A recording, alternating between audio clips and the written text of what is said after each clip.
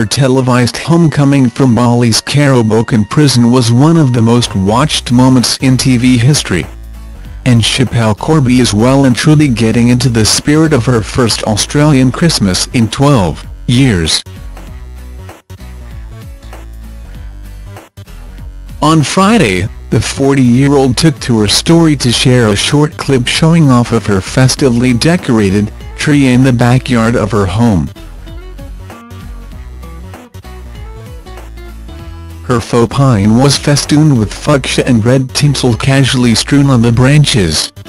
Bells, baubles, and a Merry Christmas plaque also adorned the Yuletide centerpiece in a chaotic yet joyful display.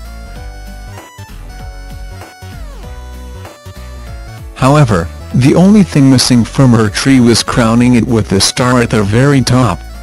Playing, the background of her first clip was Sia's latest Christmas hit Santa's Coming for Us. Clearly feeling the Australian pop songstress seasonal album, Schapelle showed off her tree again, with another track, Puppies Are Forever, playing in the back. Schapelle will likely spend Christmas with her family including her siblings including Mercedes and Michael Jr., and their mother Rosleigh.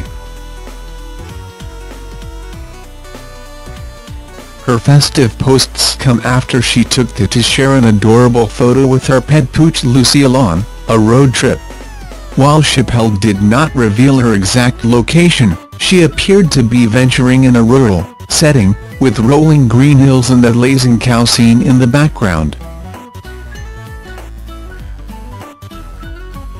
It also seemed the brunette was not alone on the journey, with a mystery passenger having captured the picture of the drug smuggler and her pup.